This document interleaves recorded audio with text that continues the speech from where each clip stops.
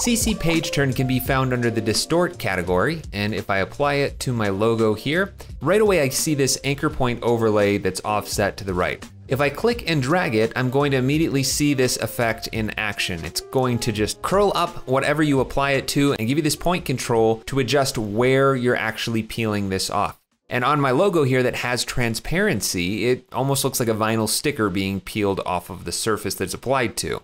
And as we look at the back side, I can see straight through the logo. It's preserving that alpha channel. But if I drag out this version that has a actual background to it and a little white outline, and we apply the effect to that instead. So CC page turn again. Now we can really see that that alpha channel is being preserved. But if I move it right here, you can see that by default, you can see straight through that backside into the front side. I don't know why this is the default, but to change this, we just need to go down to the back opacity value and turn that up to 100. So this controls how transparent the back of the page actually is. So I'm going to turn that up to 100% and now I have a front and back. But that back side is just a mirror image of the front side.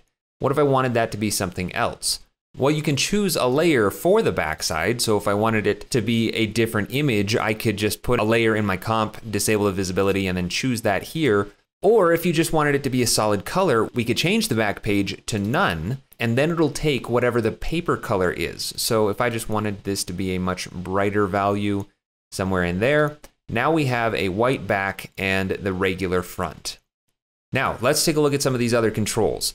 The first option is the controls value, and it's set to bottom right corner. And this is just letting you know where the page is going to turn from, so the bottom right corner. And if we take a look at the fold position, this is the value that this point control is driving. So if I just leave that there and only move it on the X, you can see that it's based on both the X and Y values. So if I move over to the right here, then it's gonna start peeling upwards.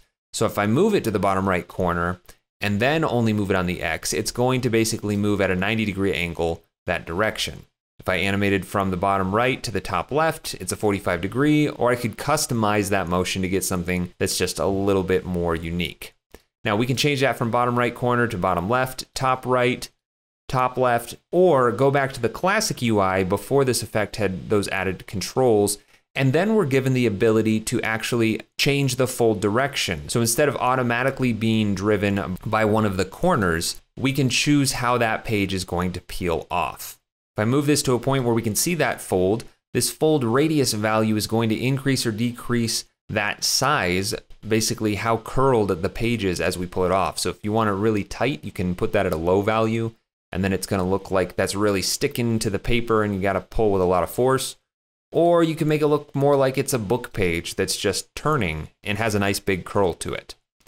We also have the ability to change the light direction, which is that nice highlight and shadow that we see on that curve, so we can change where that light is coming from. And we also have the ability to change the render from both the front and back to just the back or just the front. And this is useful if you need to separate the front and back for some reason. You can just duplicate the effect change one to front and one to back, and then maybe stick something between them. But that is all there is to CC page turn. Hey, thanks for watching. If you enjoyed this tutorial, then check out the other ones here on my YouTube channel. And if you like my teaching style, then definitely check out my longer form content on Skillshare and School of Motion. And if you want to support more tutorials like this one, check out my Patreon. You can find links for all that stuff in the description of this video.